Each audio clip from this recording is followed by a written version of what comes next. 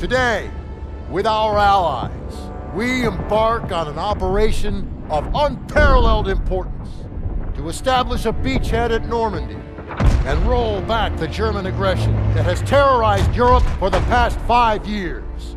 We are all that separates the world from darkness.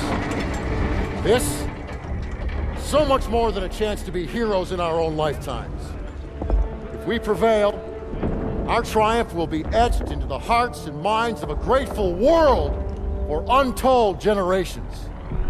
I'm talking about glory, gentlemen. True glory. Colonel Davis sure can give a nice speech.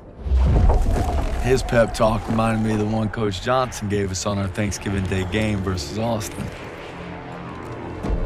I'm sure you remember we lost that game by 42 points.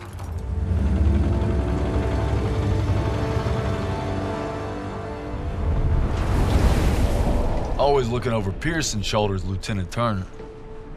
He's got him on a tight leash. But if Pearson breaks free, we'll all get bit.